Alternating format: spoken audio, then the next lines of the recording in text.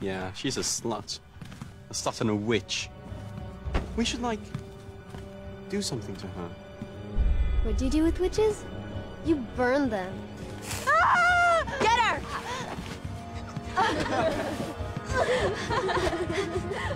Why are they doing this? Are they stupid? Oh, mistress of the obscure darkness, bring forth your mighty power.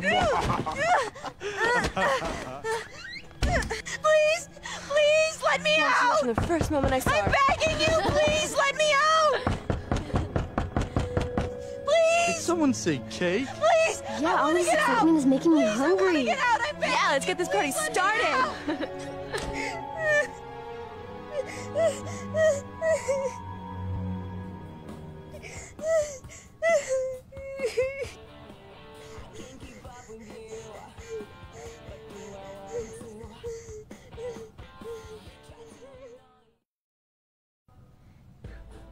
Get me out of here,